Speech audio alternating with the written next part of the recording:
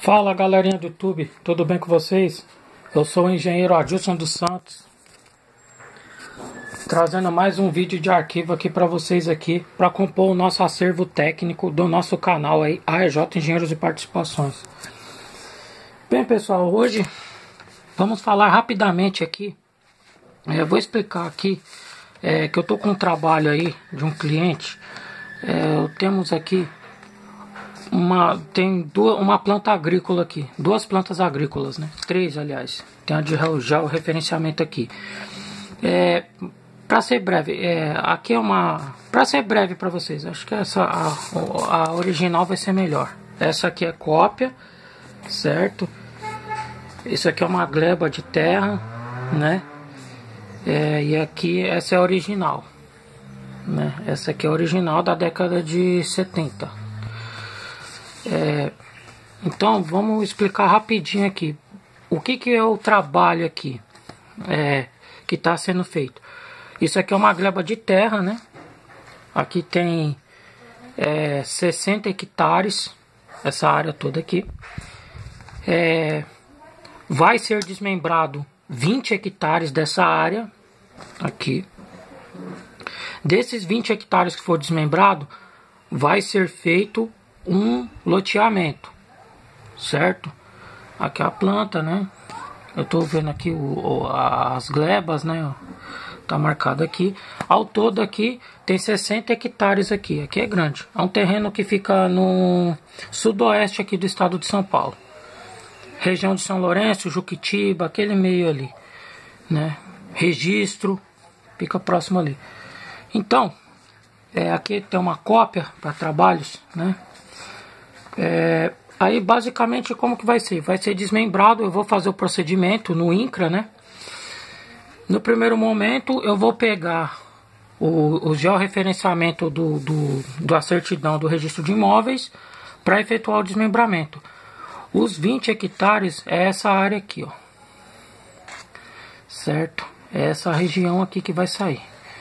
20 hectares, 20 mil metros quadrados. Lembrando que cada hectare tem 10 mil metros quadrados. Aqui tem 20. Vou desmembrar aqui. A margem a rodovia. Lembrando que pela lei federal tem que recuar 15 metros aqui do região referenciamento, né?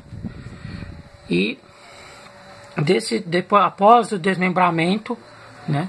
Vamos desmembrar direitinho, vou fazer o georreferenciamento, né? Vou atestar a planta que já foi feita aqui de georreferenciamento e para dar início e, e no, no para dar início, aliás, eu já tô até, até já iniciei os estudos preliminares da implantação do loteamento. Aqui, rapidinho para vocês aqui a planta de, de georreferenciamento dessa área aqui. Né? Aqui o, o topógrafo que fez, foi contratado um topógrafo para fazer, certo? Aí tem um quadro aqui de... Quando eu falo muito de azimuth, aqui se enquadra bem aqui, ó as coordenadas dos vértices, né? E os azimuths, que é o ângulo, em, em gera, o ângulo de referência em relação ao norte magnético. Aí tá aqui, ó. Aí aqui tá as coordenadas, né? Aí tá as coordenadas até fechar a poligonal aqui. Esse aqui já é os 20 hectares. Eu vou atestar essa planta aqui não fui eu que. Eu, eu realizei algumas medições lá, né? E né, as coordenadas direitinho, os piquetes lá, né? O marco de concreto. E efetuei o. Vou, vou atestar essa planta aqui. Vou assinar como responsável para o INCRA para desmembrar aqui. A gente vai pegar esse desmembramento e vai enviar para o INCRA, né? Para ele fazer o, o, a alteração no registro de imóveis, na certidão de registro de imóveis, certo? Deixa eu pegar aqui, porque a minha mesa tá cheia aqui. Então, a próxima etapa, né? Aqui tem uma, aqui é a mesma planta aqui, ó, né? Isso aqui são, dá, se eu não me engano, dá três alqueires aqui. É uma área bem grande aqui. Aqui tem as curvas de nível, né? E aqui, o, o, após o desmembramento, vai ser feito isso aqui. Ó. Essa aqui já é uma planta que eu já comecei a fazer, né? Aí a gente vai sair do INCRA, que é um órgão federal, e vamos para o órgão municipal, que é a prefeitura lá, né? Depois eu vou ver direitinho a, a comarca que está registrado nos documentos para a gente ver lá. Então o que vai ser feito depois vai ser isso aqui. Isso aqui vai ser o futuro aqui, ó. Essa área aqui, né? Toda essa região aqui vai ser isso aqui. Eu já fiz os estudos preliminares aqui. É, eu desenvolvi aqui foram sete quadras. É, aqui já tem lá, ó, essa, essa região, essa parte aqui já é um já é um loteamento lá. E aqui já são imóveis, né? Por isso aqui, se vou aproximar um pouquinho, eles já têm as matrículas individualizadas deles aqui, né? Aí eu é, aqui ficou essas, aí eu tive que fazer ao fundo desses lotes aqui o cálculo que eu fiz. Então aqui juntando esses dois ficou uma quadra, ficou duas meia quadra, né? Como tem seis, né? Duas meia quadra, uma com três, com três, seis, com um, sete. Então todo ficou sete quadras. Mas para efeito de é, didático, vamos considerar uma quadra inteira aqui, quadra A e quadra B, certo? Calculei o traçado da rua aqui, a largura da, da rua. A, a rua tem de 12 metros, né? De testada a testada.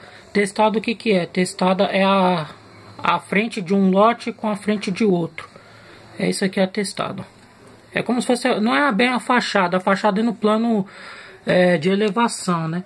A testada é a frente aqui, ó. Os lotes aqui eu desenvolvi aqui em cerca de, de 200 lotes, né? O cálculo preliminar que eu fiz aqui, os estudos, considerando a via, tem que obedecer a área de, de, de curso de água, certo? Que é, é aqui no Brasil é diz respeito à União, a lei aí, né? A lei de loteamento de 66 e 76, revisada em 98, ela fala que tem que ter um, um recuo de 15 metros para um, um centro de um rio, né? De um curso de água. É assim como tem que ter para a faixa de domínio de rodovia, de. de né, tá a rodovia desse lado aqui, né? De rodovia que tem que recuar 15 metros. Aí aqui eu obede obedeci também, eu consultei o plano diretor municipal lá, né? Vou ter que ter consultado da outra cidade para ver a, a matrícula. E coloquei os aqui o, que pede, né? A legislação pede equipamentos públicos, né? A área institucional aqui é para fazer uma escola. É, aqui eu coloquei como um parque linear, já que está próximo ao curso de água. Já preservei, aproveitei para o dono, para valorizar o, as áreas privativas aqui, né? Procurei deixar próxima a via de acesso aqui, né? Ó, da rodovia, né? Aí já dá uma entrada também aqui no loteamento. Então, basicamente isso aqui. Isso vai se tornar isso. É um processo, né? Só estou explicando para vocês é, que é um, como que vai ser. Aí aqui, né, é, é os lotes, né, lote de 220 metros quadrados, é, 6,50 de frente por 20, né? Eu estipulei o cálculo. Então é isso aqui, né? Nós vamos tentar aí. Aí aqui, é, isso aqui como que é uma Isso aqui tem que ser encaminhado para a prefeitura, porque aí a gente já vai conversar no âmbito municipal. Nós vamos sair da esfera federal, né? Daqui da área agrícola, né? As medidas agrárias e vamos trabalhar aqui com a prefeitura, né?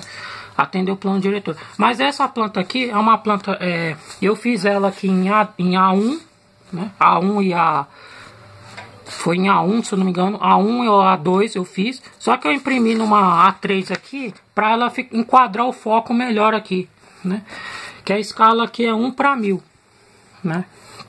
Cada um centímetro aqui corresponde a 10 metros na escala real, né? Aí é uma área grande aqui.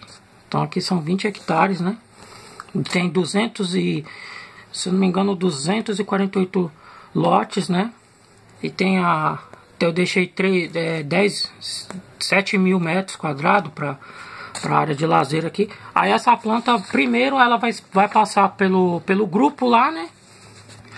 O grupo de investidores lá, de acionistas, eles vão passar no advogado, tal, vai conversar com a secretária de obras. Aí se tiver ok, se eles gostarem ou que gostarem ou quiserem outras alterações, né? Que como é, são mais de, de, de um proprietário aqui nessa área, então eles têm, têm a divisão deles lá, né? É, tem alguns lotes que vão, eles vão preservar para fazer é, casas maiores, esse tipo de coisa, né? Bem, espero que vocês tenham gostado aí. Um trabalho de, de desmembramento agrícola aí, agrário, né? Para transformação em uma área urbana aí, no loteamento.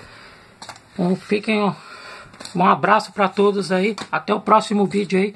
Deixa eu continuar aqui na ripa aqui. Fui!